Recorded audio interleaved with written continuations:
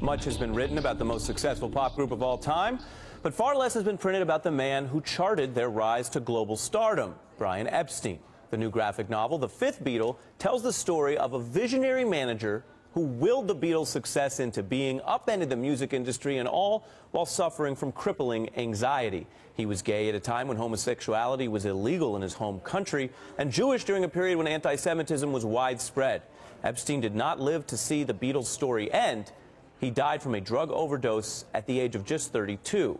Still, the musicians and industry figures knew his pivotal role. As Paul McCartney told the BBC in 1997, if anyone was the fifth Beatle, it was Brian.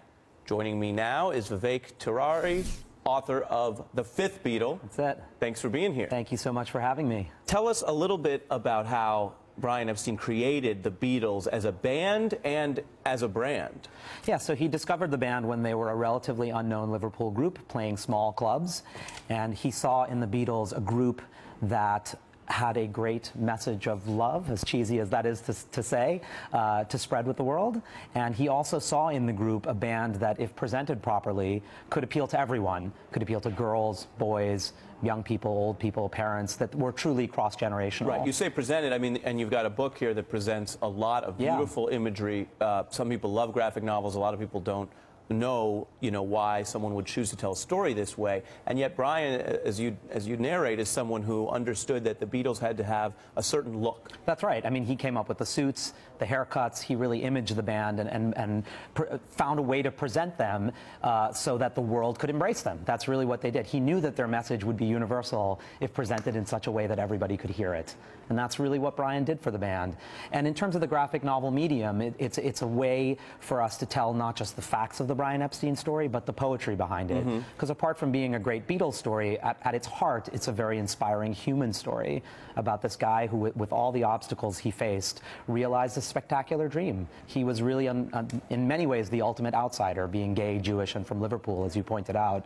Uh, so really, he overcame all these personal obstacles to, to realize this wonderful dream, and, and that's yeah, the heart speak, of the story. Speak about his, his identity, and on the one hand, people yeah. think back to that period as a time of exploration, free love, a cultural shift, yeah, uh, and yet it was very difficult for him. Yeah, it's amazing. I mean, you know, he died in 1967 during the Summer of Love, and uh, you know, the truth was that was a summer of love if you had the right kind of love.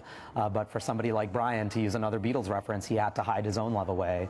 So while I find the story is incredibly inspiring, it's also quite tragic. You know, here's a guy that exposed to the world a great message of love, as I said earlier. Right. And yet he dies at the age of 32, never having had a proper boyfriend. And, and his death's impact on the band?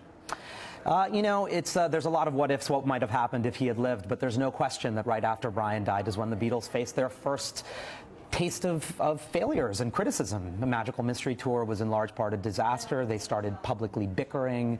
You know, Brian viewed the Beatles as a family. In a lot of ways, I think they were the children that, as a gay man, he could never dream of having. And much like any father, you want to keep your family together.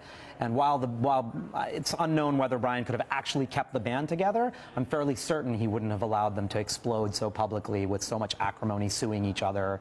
You know, the dissolution of the Beatles was, was, not, was not a pleasant thing to observe. And I don't think Brian would have allowed that to happen. And your personal background, being in theater, Tony Award-winning plays, uh, how much of that drew you in? Do you think of the Beatles as, as a group that was consonant with that kind of larger thematic music and storytelling? Yeah, I mean, I think the, the Beatles were, I mean, one of the things that Brian really brought to the band was theatricality. You know, he was a big fan of bullfighting, and if you read the book, you'll see that the Matador image is something that runs through the entire book. And he brought that sense of theatricality to the Beatles.